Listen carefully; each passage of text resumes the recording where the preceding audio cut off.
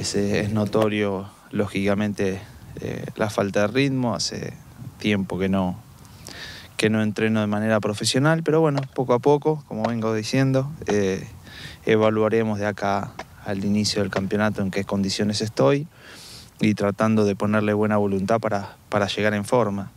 Y si no, como lo he repetido siempre, eh, agradecido del espacio y del lugar que me han dado, nos daremos la mano y diremos muchas gracias por todo y será en otra oportunidad. Pero bueno, por el momento estando a disposición, eh, entrenando y, y viendo si, si alcanzan los tiempos como para poder llegar de la mejor manera.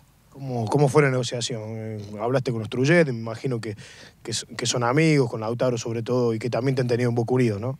Sí, sí, es decir, la, la charla es más eh, eh, de relación afectiva que, que de manera profesional. Eh, con Carlos siempre mantuvimos el vínculo de, de, que nos hemos separado, bueno, porque a mí me tocó ir a talleres, él siguió en Boca Unidos, hemos tenido siempre eh, conversaciones, más que nada siempre futbolísticas, eh, porque nos gusta el fútbol y siempre eh, tratando de, de, ver qué estaba haciendo uno y el otro. Y bueno, ahora se dio circunstancialmente que ellos están trabajando aquí y me ofrecieron la posibilidad de, de venir a, a jugar, lógicamente que uno le ha, le ha, dado la imagen que percibe de uno mismo, siendo respetuoso de todo, principalmente del club, de los compañeros, entonces acá ya con nombres ya nadie juega, entonces hay que ser consciente que hay que ponerse bien, porque dentro de la cancha son 11 contra 11, el club está necesitado de, de cosas importantes, entonces uno no puede ni venir a hacerle perder el tiempo a la gente ni perder el tiempo a uno. Entonces soy muy, muy criterioso de eso. Si logro ponerme bien, bienvenido sea, vengo a dar una mano.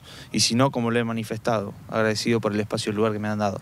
¿Y cómo estás? ¿Cómo te has sentido de lo físico? No, no, bien, bien, indudablemente me falta for fortalecimiento, en, encontrar un poco de ritmo con, con estos trabajos, pero, pero siendo consciente que, que en el día a día estoy tratando de ponerlo mejor para, para llegar de la mejor manera, para encontrar el fortalecimiento que uno requiere como para poder desarrollarse bien dentro del campo de juego, porque si no también uno mismo después lo termina pasando mal. Pero aquí no interesa lo individual, sino lo, lo del club eh, primordialmente.